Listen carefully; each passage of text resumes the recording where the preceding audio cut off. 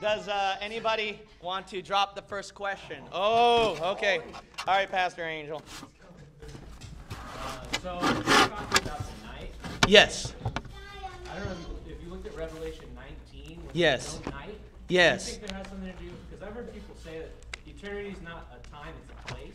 Mm, okay. Uh huh. And do you think it has, has something to do with the fact that there's no night in heaven?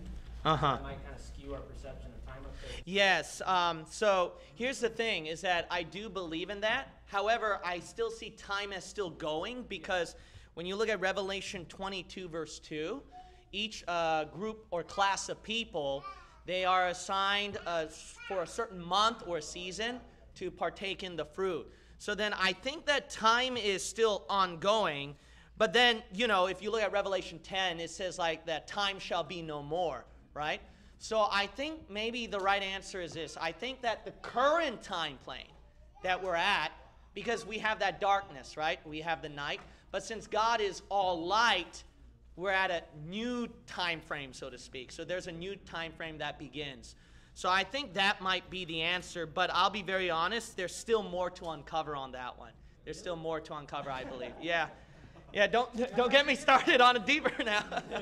yeah, but I think there's a lot more to uncover on that. There's something in there, but it needs to take time. Even me with the teaching, I only scratched the surface. I think that if you study more on light and day, uh, light and then uh, darkness, in a scientific uh, frame of mindset, as well as the scriptures, all the verses, you might find some more eye-opening things. I think I only scratched just the part of it.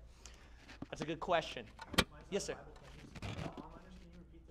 Ah, okay. Yes, sir. We'll do. We'll do. All right. Sorry, onliners. So the question that I was answering was in Revelation chapter uh, 21, I think. Uh, it says that there is no uh, more night, or Revelation 7, I forgot.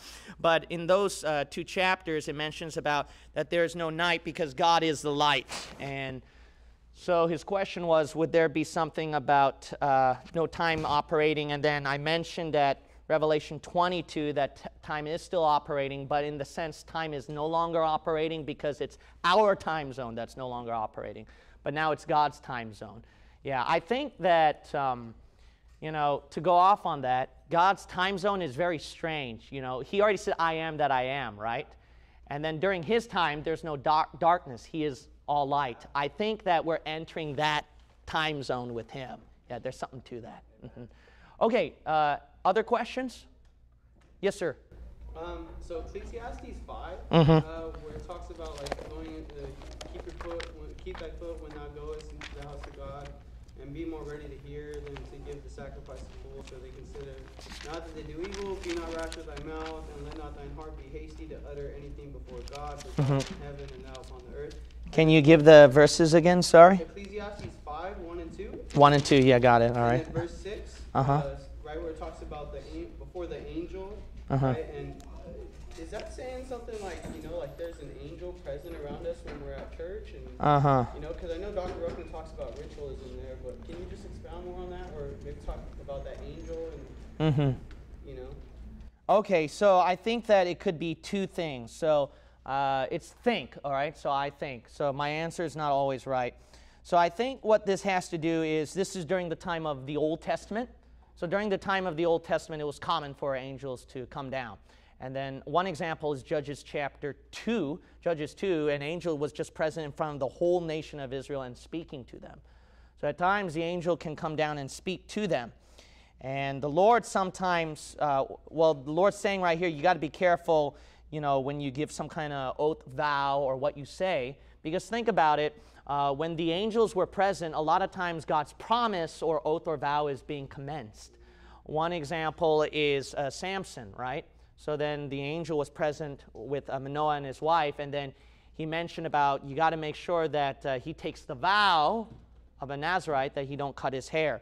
So then, if uh, Manoah's wife said, "Oh, it was an error," or Samson said that, uh, then you have to be careful of that because God will hold you to it.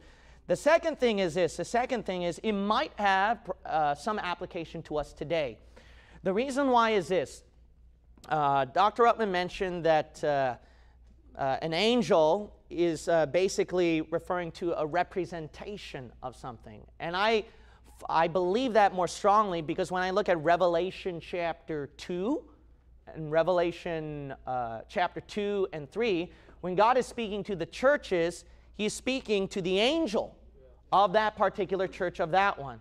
Now, why is it? Because it's that angel's fault? No, that angel is supposed to represent that church. So then the angel basically, uh, he's that representation of us. So then when we speak or when we do things, we got to be careful because that presence of that angel for us can represent that way to God. So then, how the church of Laodicea messed up in its act, and then God was speaking to the angel of the church of Laodicea. So then Laodicea had to be careful what they said. They said, you know, I have need of nothing, I'm full. Well, they should be careful of that because the angel's representing them. Uh, makes you wonder it makes you wonder. The Bible says that we can we will judge angels, right? It makes you wonder if it's possible they can judge us in return at the judgment seat of Christ because they are representatives or they're part of that evidence for us at the judgment seat of Christ. So it makes you wonder, makes you wonder about that. All right. Do we have other questions? Yeah, yes, sir. Uh, in Job chapter 36, mm-hmm. uh, verse 5, it says, Behold, God is mighty and despiseth not any. He is mighty in strength and wisdom. And in Psalm 5, uh, verse 5, the foolish shall not stand in thy sight, thou hatest all workers of iniquity. Mm-hmm. So it seems to me that in Job it says God doesn't hate anyone, but mm. in this verse it says he does. Yeah, okay, that's a good point. All right, the easy answer is the original Greek should be.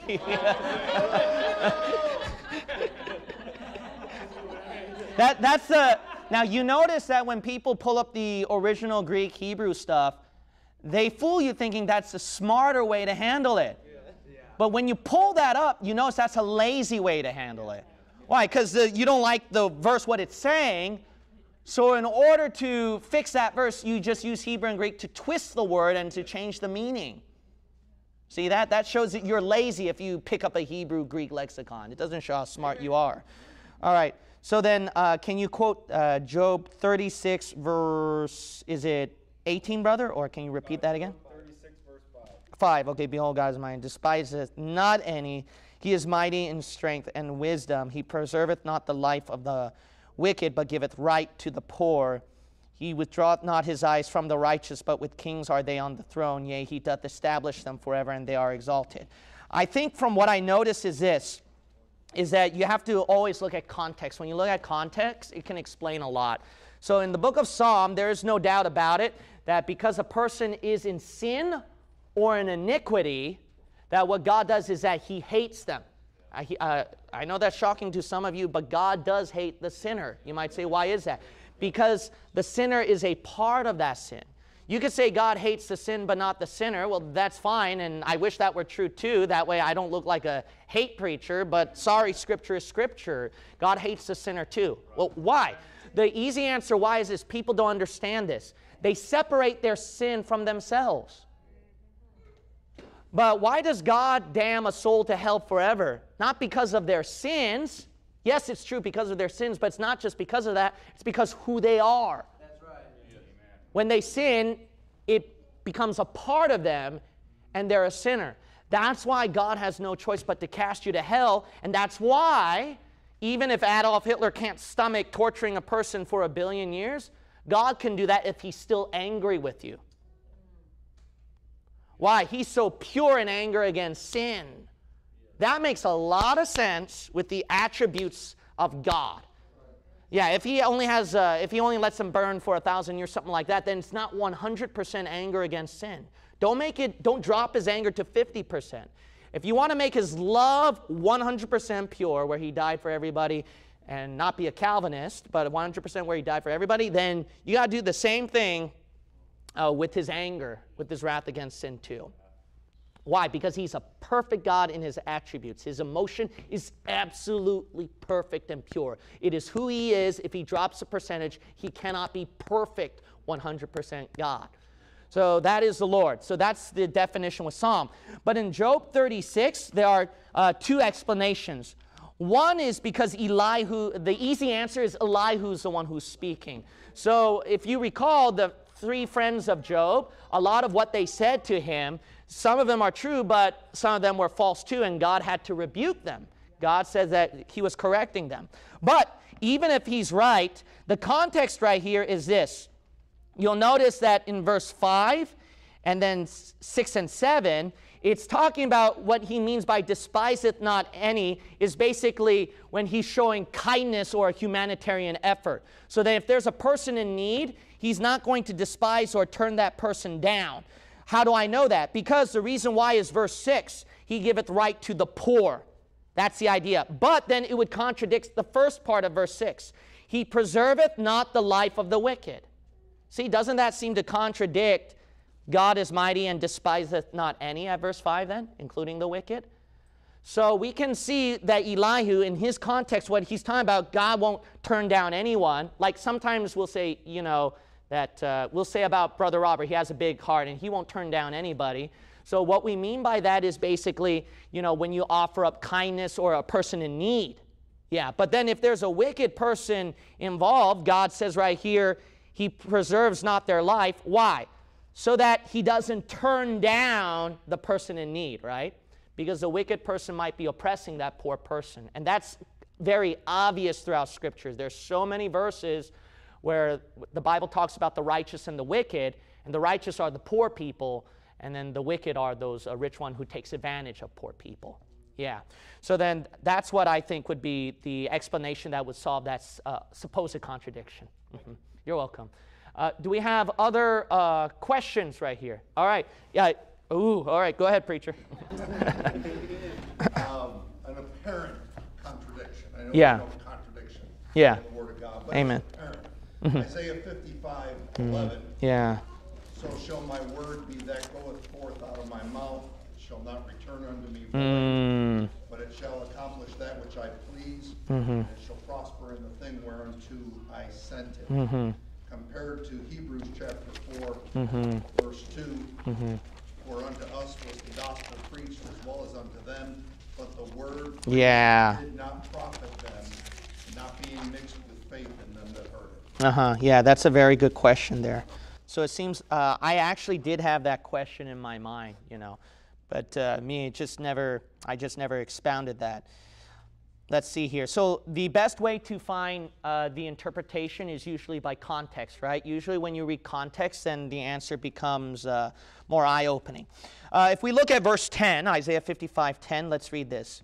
For as the rain cometh down and the snow from heaven, and returneth not thither, but watereth the earth and maketh it bring forth and bud, that it may give seed to the sower and bread to the eater, so shall my word be that uh, goeth forth out of my mouth. It shall not return unto me void, but it shall accomplish that which I please, and it shall prosper in the thing whereto I sent it. Let's also look at Hebrews uh, 3, yeah, 4, right? Or is it 3? All right, thank you, sir. Chapter 4, verse 2. It says, for unto us was the gospel preached, as well as unto them, but the word preached did not profit them, not being mixed with faith in them that heard it. For we which have believed do enter into rest, as he said, As I have sworn in my wrath, if they shall enter into my rest, although the works were finished from the foundation of the world. Okay, so this is uh, my two cents on it. Obviously, when I give answers, it's not 100% uh, truth. I just answer the best that I can, and then you take it home, and then you pray about it, and then the Lord might give you the answer even more.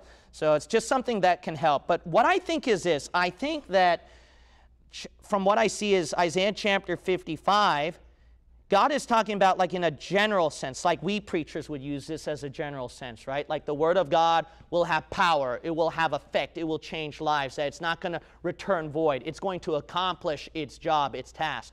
Now, when we talk about that, we say that in a general sense, but then when we talk about unbelievers who reject the Word and the gospel, it doesn't profit them, right? It doesn't work for them. So I think this I think that Isaiah 55, Isaiah is speaking like in a general sense and actually, this is very true. God is speaking to the people here that Isaiah 55, 10 through 11, that his word, basically saying his word has power, it won't return void. So it has power, it has effect, it can produce fruition. But here's the thing it's not the word that has no power? It does. That's why Isaiah 55 saying. But in Hebrews 4, the word does not have that power or profits them. Why? It's not because it's the word, it's because of the person. So then the person rejects that word. That's why that word, it uh, when it's rejected, does that mean it has no power? It doesn't have the fruit? No, it still has its capabilities in the general sense. It has its capabilities to convict, to, accept, uh, to help them if they would only receive it. That's the thing. So then Hebrews 4 points out that's why they didn't, uh, did, the word didn't work for them because they didn't receive him. The key is not being mixed with faith in them that heard it. So then a great example is Matthew 13, uh, was it 13? That verse talks about, see, the word has power, the seed, all right? But then when he gives out the seed, it has power, it has the capabilities, but the person can accept it or reject it. So then the word comes down, the person don't even bother to hear it, Satan comes and takes it away. The Bible says you have to, uh, faith cometh by hearing, hearing by the word of God. So you got to hear it for that word to have its power and its effect to you. And then you got the ground that had the thorns coming out, the grounds that were stony just came up and then died out. Why? Because the faith was weak at those points. The faith was weak at those points. So then, if you have a receptive heart of faith, that word has the power and capability. The idea is this. The idea is in, uh, if we say there's a contradiction with Isaiah 55 and Hebrews 4, then what we're saying is the word has no power. See? So then that's why it's important to point out well, obviously, no, we cannot say that there's a contradiction here. If there isn't, that means we have to say the word has no power. But if we do believe the word has power, then we can explain that contradiction. Isaiah 55 saying it has the power, has the capabilities, but Hebrews points out the condition. Would you then also say where it says in Matthew 15, 6, you have mm-hmm. made the commandment of God of none effect mm. tradition. Yes. Tradition and a lack of faith both Yes. hinder the word of God. Absolutely. Absolutely, sir. I think that makes a lot of sense. So then the word of God has the effect and power, but then the person see rejects it, right? Puts that tradition in place. And think about it. How can the word have its power and effect on you if you don't even use it to begin with, right? Yeah, if you don't even use it to begin with. All right. Uh, does anybody? That's a very good question. Uh, Daniel. uh, kind of like another maybe apparent contradiction. James one, thirteen. We have a lot of people who wants to correct the King James Bible. Okay, so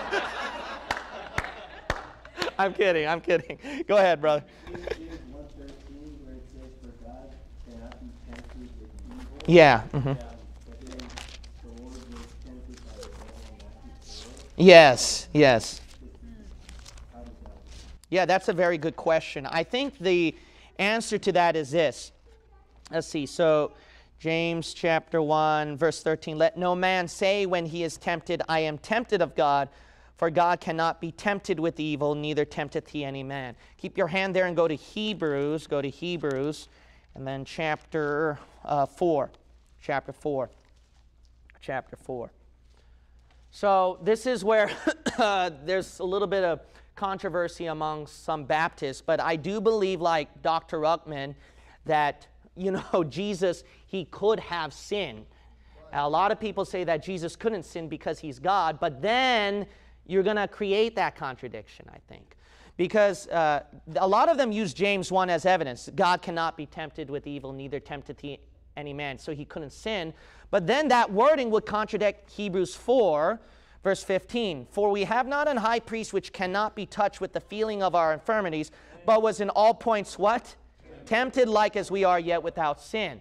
Okay, what's the idea here? It's very easy. If you do believe that Jesus could have sinned, why? In his human nature, but in his de- the deity nature part, that's what James is talking about. The deity part about God cannot be tempted with evil. That's why he cannot fall for that one. But his human side could fall for that one. So then some people might ask the question, well then what if Jesus sinned? Don't you believe he is present tense God? So if he is present tense God, he cannot be tempted with evil, right? Well then here's the easy part. He- uh, not the God part, but his human part, sure, it would fall. See, that would be the easy answer to that one. So I think this is that, yes, uh, the, the contradiction would be resolved if you do believe in that. If you believe in that, then that Jesus could have sinned in his human nature, then it would not contradict Hebrews and James. Yeah.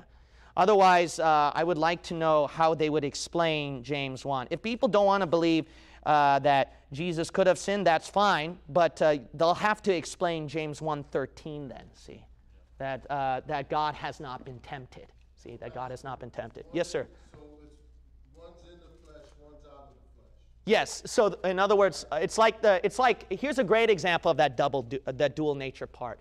Uh, God says that if you're born again, you cannot sin.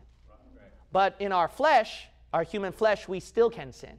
See that? So if we understand this aspect, like how God created man in his own image, what did he do? Body, soul, spirit. Same thing matches with God the Father, God the Son, God the Holy Spirit. That would be that would be very helpful. It would be very helpful to fill in the pieces there. Mhm.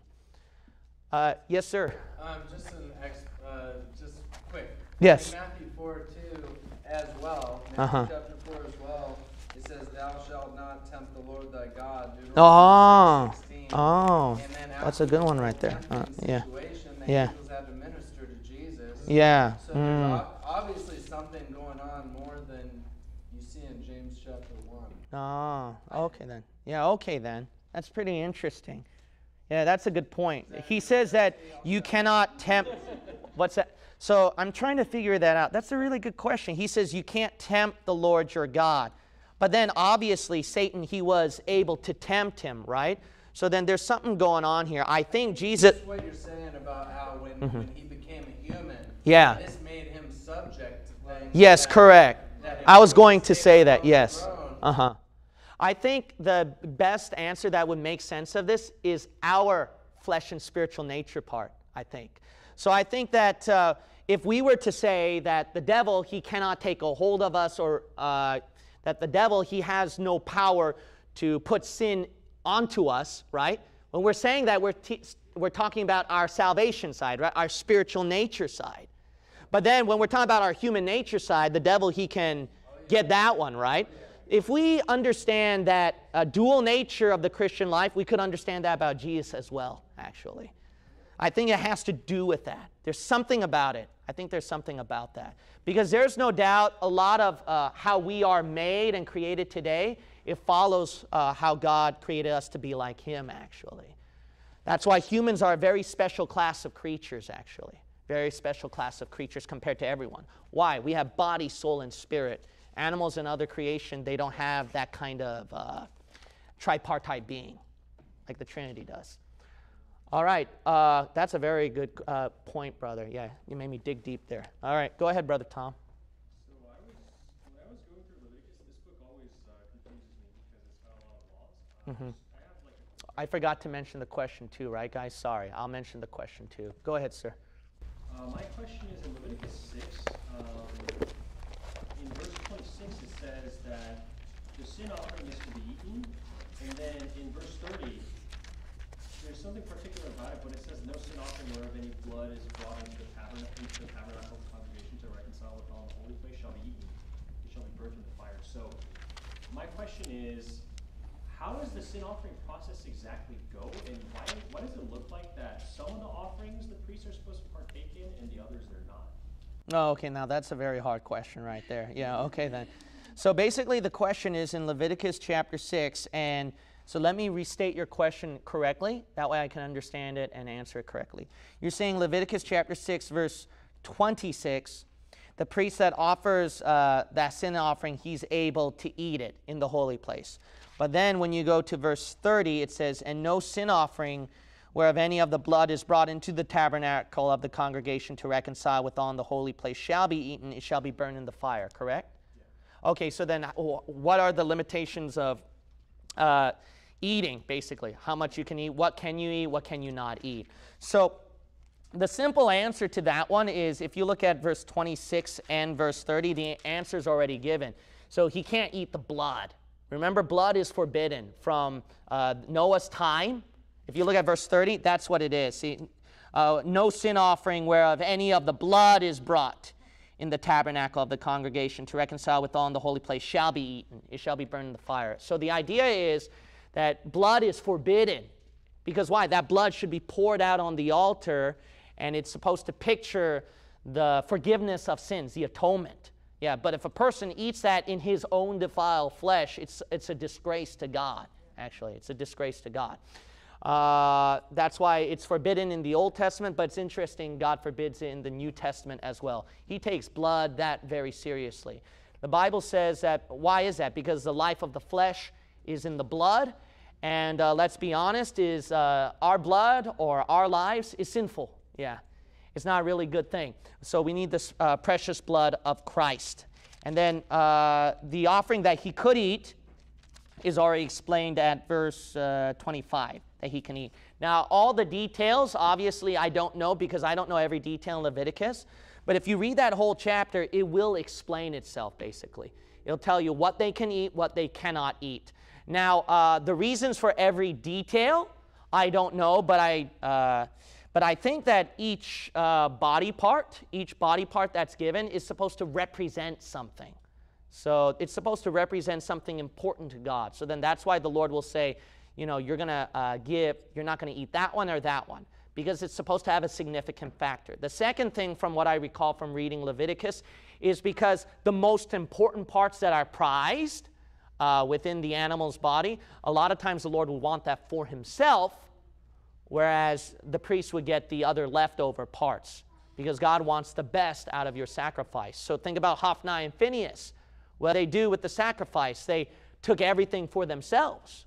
That's their problem. So, because they took it everything for themselves, the Lord saw that as a disgraceful thing. He did not like that. Because sacrifice is supposed to be basically offering to God. See, what you're offering to Him. What you're offering to Him. So, He deserves the best out of it. All right, so those are the two things that I can see why God would put some sort of limitations upon eating concerning about offerings what they can eat, what they cannot eat. Because there's no doubt that the law of Moses, a lot of Christian pastors, when they preach about this, uh, they use it mostly for a practical Christian application on what it pictures. There's a lot of pictures here on the sacrifice, why it's done that way, the detail, and then the diets and everything. It's done to picture something. The Lord, uh, He's a strange God. Uh, whenever He tells a person to do something specific, we're like, what's the big deal? You know, like Moses thought. What's the big deal with hitting the rock? Uh-huh. Yeah, but God took it very seriously because there's something that Moses and people during his time wouldn't see. It's supposed to represent his son, and the picture is, you don't strike my son again. Yeah. But when you did that, you just showed that you disgraced my son again. You know what the Catholic Mass is? Striking Jesus again. That's what it is. Striking Jesus again, that he's sacrificing again, a continual sacrifice. No, God says, no, it's just one time one time. There's no doubt pictures are important. I think it was Hosea or Amos. The Bible talks about that similitudes or pictures. They're very important to God. Pictures are extremely important. A lot of Bible believers, they're afraid of figurative interpretation, which I understand. You have to take the Bible literally, every word for word. But don't let it go off balance where you denounce the figurative. Because the figurative is very important to the Lord. It's supposed to picture, represent some deeper meaning in there. There is some truth into that. Mm-hmm. All right, then. Uh, do we have uh, another question? Uh, Brother Ralph. Uh-huh. I saw your hand, brother. I'm going to go to you. You're not running away. All right, go ahead, Ralph. What happens when we confess our sin? what happens to our sin when we confess it? Oh, I see. Yeah, so then, like, basically, what happens uh, at that moment, like what actions take place, or is it our sin? Yeah, okay, then the first one. Okay, then. So then, when we confess our sin to the Lord, one, based off of Romans chapter 8, we don't even pray correctly. See? So then, because of, yeah, I believe that. We don't even pray. Yeah, even, even confession or thanking, we can't do things correctly. So then the Holy Spirit intercedes on our behalf. And then the Holy Spirit will show you know, the right words on what he's saying, you know. So for example, I might be sorry about my bitterness, right? But then the Holy Spirit could show a deeper meaning. It's deeper than his bitterness, Lord. Yeah. So then maybe sometimes the Holy Spirit will do that. Um, so the Holy Spirit translates for us, one. Number two, Jesus Christ takes that prayer request based off of Romans chapter 8 and then gives that translation to the Father. He's our intercessor, our high priest. Now, what did the high priest do with the people's sins? When they were confessing it to the Lord, he had to be that intercessor in place. So, Jesus Christ is that intercessor. And then the Father, what he does is that he cleanses it away with his blood. Because of 1 John chapter 1, verse 7, the blood of Jesus Christ cleanseth us from all sin. Now, the question obviously is, well, isn't the, or, uh, didn't his blood already wash away our sins at Calvary? Isn't it talking about our salvation? All our sins are washed away, past, present, and future. Well, the problem with that is this, is that when you look at 1 John chapter 1 verse 7, the cleansing of the, of the blood cleansing our sins is based not on our salvation, but our current fellowship. So John is including himself as a believer. So he's saying I can still receive that cleansing. All right. Well, then, uh, then what happened to our sins when we got saved? That's based uh, not on your fellowship, but on your salvation. All right. Why is there? Why would God have two different blood cleansings for salvation and fellowship? Simple, because with uh, your salvation is based on your soul. See, so no matter how many times your body sins, your soul is still purified. So that blood of Jesus Christ covered all the sins of the soul, but not your body. Because if you look at 2 Corinthians chapter 5 about the judgment seat of Christ, for, uh, uh, for God shall bring, uh, let's see, it was, uh, for we must all appear before the judgment seat of Christ, that everyone may receive the things done in his body according to that he hath done, whether it be good or bad. See, so then what God's judging uh, you at the judgment seat of Christ is your flesh. Why? Sin has to reap what it sowed in the flesh. It has to. See that? So then uh, the judgment seat of Christ is one of them. So then at the judgment seat of Christ, he's judging you for your fellowship. Why? Because it's based on how well you behaved in your body. What's the evidence for that? 1 Corinthians chapter 3. It talks about the judgment seat of Christ, but the last verse talks about how well you took care of his temple, the body. So the body is all connected to that. See, so that's what happened uh, when you confess your sin to God. When you confess your sin to God, the Holy Spirit uh, conveys uh, the deeper emotions, the real meanings, the whole, and then the Lord Jesus Christ intercedes on your behalf to the Father. The Father cleanses it away with His blood, and then at the judgment seat of Christ, it is said, I'm not sure, but it's the verse is kind of plain. I think it's wiped clean. So that at the judgment seat of Christ, God won't be able to judge you for those things. So, because 1 John 1 7 is plain, the blood of Jesus Christ cleanseth us from all sin and that's based on our fellowship. So uh, it is said that. Me, I'm, I'm not, I don't teach that as 100% truth because I always err on the side of caution, but that seems to strongly point out that way. Yes? Would there be like a heavenly tabernacle with all the sacrifices too as well? Uh, well, the thing is, well, there is a there is a temple up in heaven. You know, I don't know about Jesus Christ uh, dressing up as a high priest uh, literally and doing all that, but I wouldn't be surprised. The reason why is this because if you look at Revelation uh, chapter 16, there is still that ceremony going on there about the sacrifice, the incense going on, and the Lord's taking up the incense, which are the prayers of the saints. So, if that's how prayer works, where G- there, you have a high priest who's interceding, and then uh, an incense where it takes up the prayers on the altar makes you wonder that it could be like that in their Christian walk. If a person believes in that, I have no problem with that. Because if you look at Hebrews 13, it talks about when we're giving uh, our praise, it's, it's called a sacrifice to Him. It's called an offering to Him. Uh, Bible talks about Romans chapter 12 that the way we live in our life is a living sacrifice. Yeah. But then again, then again, there could be a fault to that. The fault is, is that God's priesthood and the way he works and operates his, his tabernacle is not physical objects and things. And the evidence was when he cut that veil in half and went up to heaven. So everything is more of a spiritual operation. See that? So instead of like a, you know, physical sacrifice where you put up a lamb and something like that, it's more of your action. See, you're spiritually how you live, that's considered as a sacrifice to God. So you have to consider all these options. Yeah. So it could be going on or it may not be going on. Yeah. Uh, yes, sir. Uh, yes, ma'am. Sorry. This is Berkeley, you know. I'm just used to calling them by different pronouns now. Corinthians um, 11, Mm-hmm. 31, it, it says, we would judge ourselves, we should not be judged. Yes. The judgment seat of Christ. That is a very, very good question. I think that you used a verse that can really support that.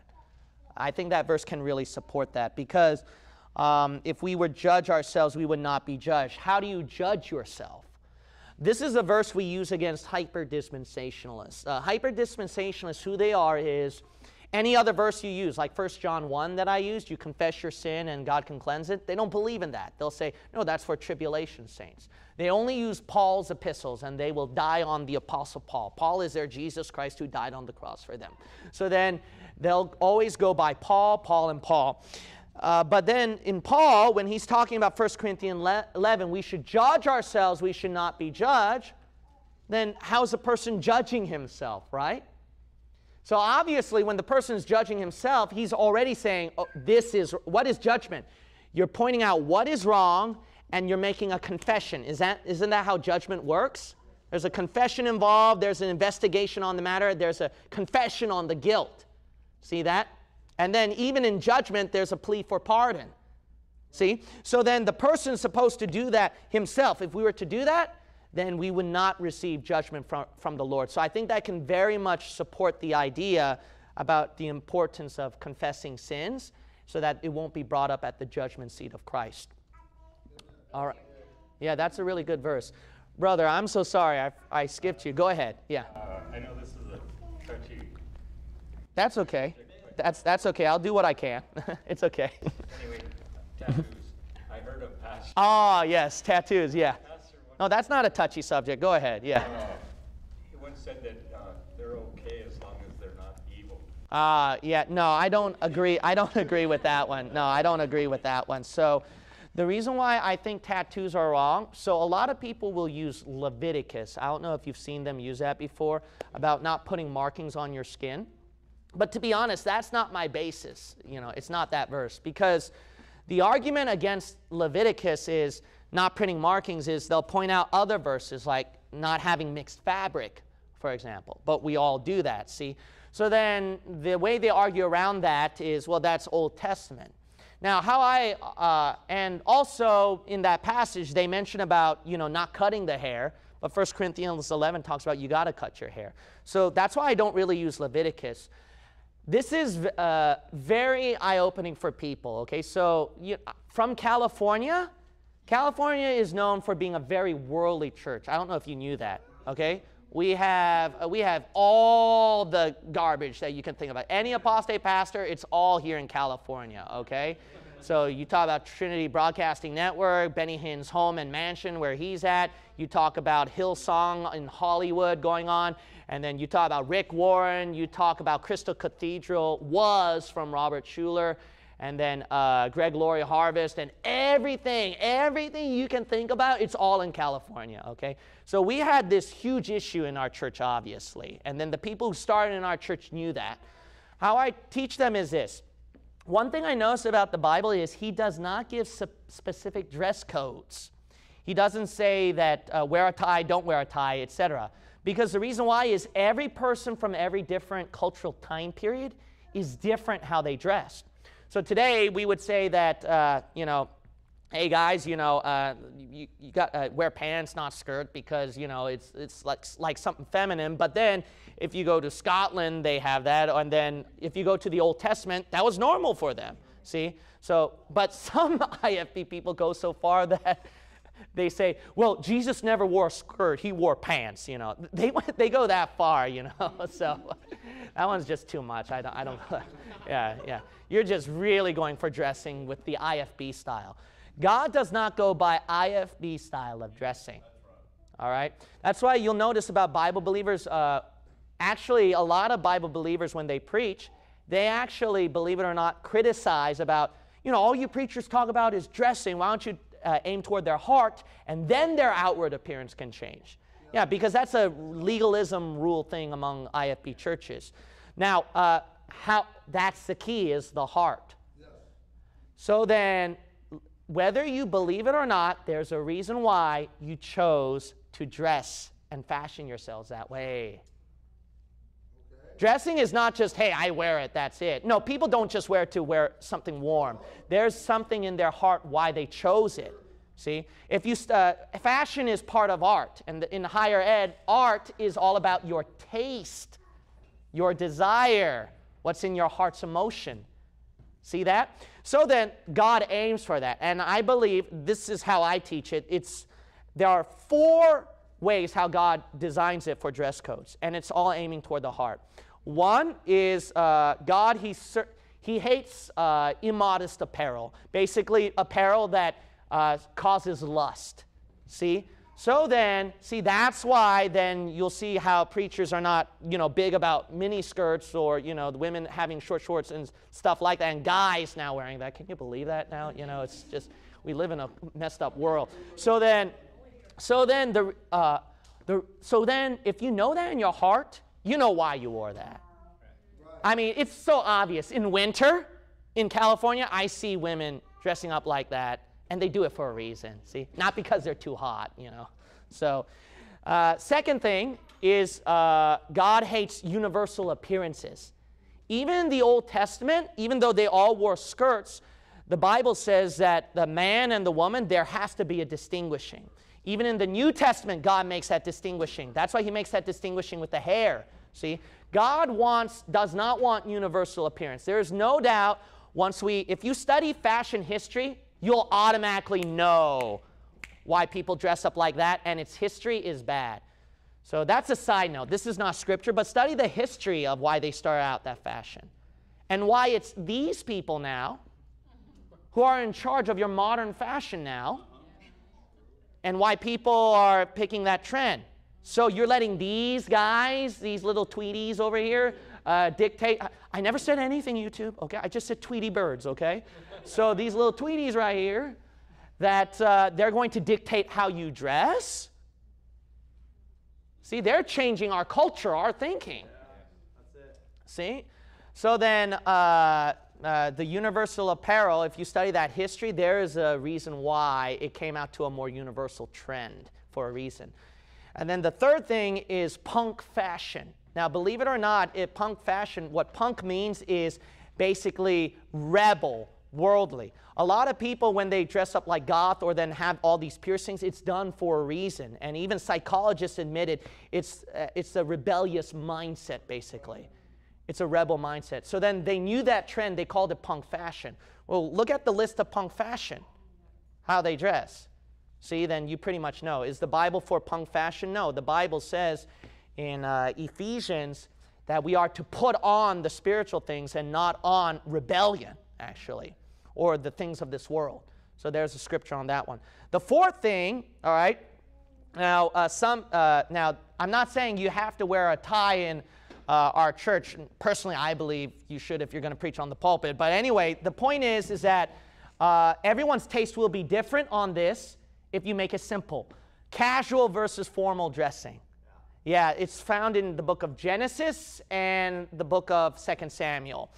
When Jacob went to worship the Lord, he says that don't wear your normal clothes, put on some special clothes. That's why I believe, you know, wearing a tie. But if I'm like in a different country where, you know, tie is not the norm there, then what's their fashion on special garment? I would wear that. See that? Uh, so that's why God doesn't go by specific details of dressing. Why cultures are all different from their heart. So God goes by their heart. Uh, but then you get Calvary Chapel. You know why they dress like that. You go to the typical uh, worldly churches today, you know why they allow the uh, preachers who are 45 dressing up like 18. Yeah, so you know why they're doing that because it's the norm of the world, you know, it's the rat of the world. No, no, no, no. God doesn't want that. When you come to worship Him, you change it to a special garment. What is special garment? Everyone has common sense, okay? Is that uh, if uh, pe- people go to even lost people know this. When they go to a graduation ceremony, they know what they're going to wear. Why is it that the wicked world all of a sudden wear a tie during like high school prom or Hollywood? uh, but, uh, but they don't do that for church. See that? There's a reason. It's all because it's a special event.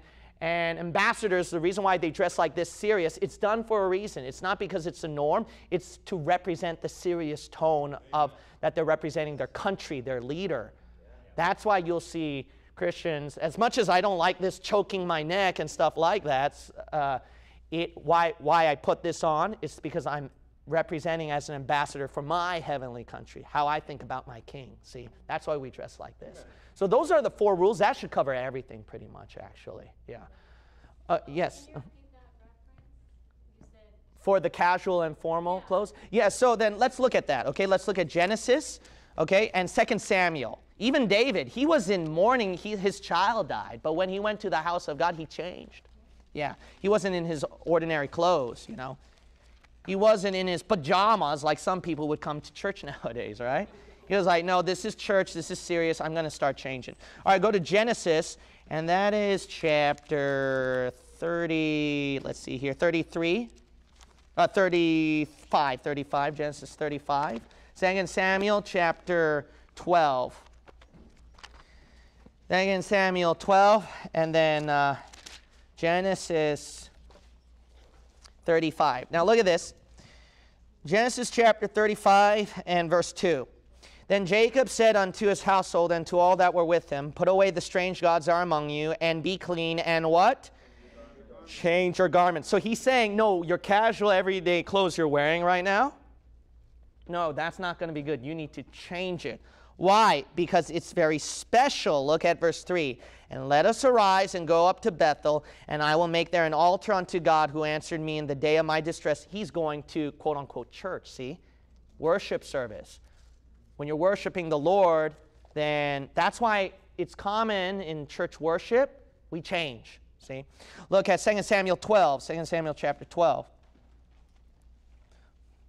2 Samuel chapter 12, and then uh, we'll look at verse 20. Verse 20. Thank you. Then David arose from the earth and washed, anointed himself, and changed his apparel. So he's not in his casual clothes. What's casual to him? What's comfortable to him? No, he changed it and came into the house of the Lord and worshiped. He was going to go to a serious worship service. So obviously, he's going to change his apparel and put on serious clothes. Then he came to his own house, and when he required, they set bread before him, and he did eat. A good example is we have a brother in our church. I quite mention him often, but Big Chuck. Some of you, uh, my members, know him. He was very special in my heart, and uh, he he prayed for just for this pastor at least one hour a day, just for this pastor. Um, that brother, he couldn't wear a tie. You know, he he was had this. Uh, uh, PTSD and all these other issues, so then he would have breathing issues and all that. So then what he, uh, and then the collar, there's no way he could do that. So then what he did was he would wear his best t shirt. So he t- put on his best t shirt and came to church.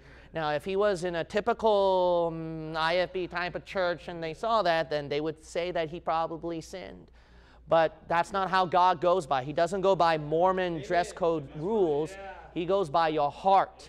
See? He goes by your heart on that one. So that's why it's very important to do that. Okay, I think, let me look at what time it is. Yeah, unfortunately, I have to end it here. So, uh, sorry, sorry about it, guys. It's 9 11, all right? Okay, all right, thank you so much for coming. I hope you enjoyed tonight. Let's close with a word of prayer, okay?